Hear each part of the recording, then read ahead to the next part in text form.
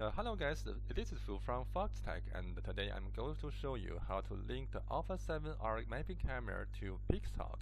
And uh, it's a quite easy setting so I'm going to show you in a very fast speed.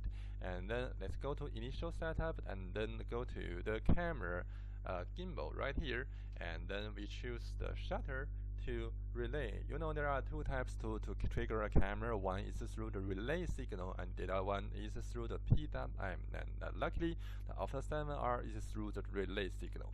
And you can see here is the uh, just uh, leave these two lengths right here and the duration is quite important that, uh, that determines how fast your camera can be triggered and for alpha 7r you can just change its number to 3 or even 2.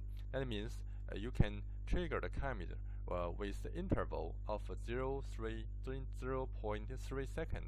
That means you can roughly take 3 pictures in a second.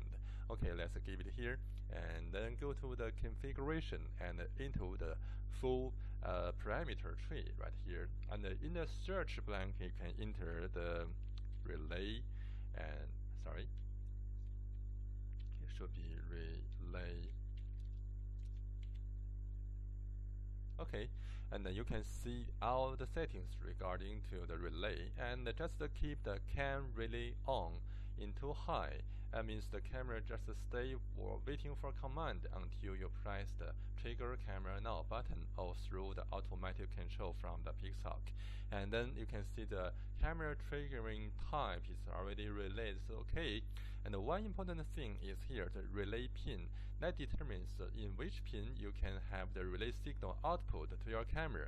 And now it's a 54. Uh, you cannot read the full description here, but the 54 meaning auxiliary 5 and now you can just uh, uh, put, uh, keep it in there and then let's try and don't forget to write the parameters after you have done all the setting change and then now let's go to the flight data and in the action window we can choose from here trigger camera now and uh, try all your settings and see if it works.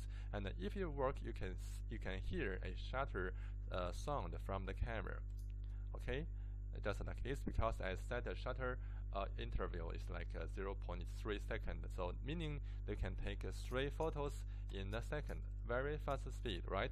Okay uh, uh, about uh, how the duration Uh, duration of the shutter is just uh, determined by your mission. If you want to very very uh, high overlay rate you can set it to faster triggering time meaning the lower the shorter duration like 0.2 or 0.3 second. And if you want to save of the some of storage of your camera, you don't need so much overlay rate. You can set the shutter speed to uh, 10, that meaning uh, that means uh, one second. Okay, so this is a brief introduction about how to set Alpha 7R mapping camera and how to set the parameters in PixHawk to make it work. And I hope you like this video. This is Fu from Foxtech.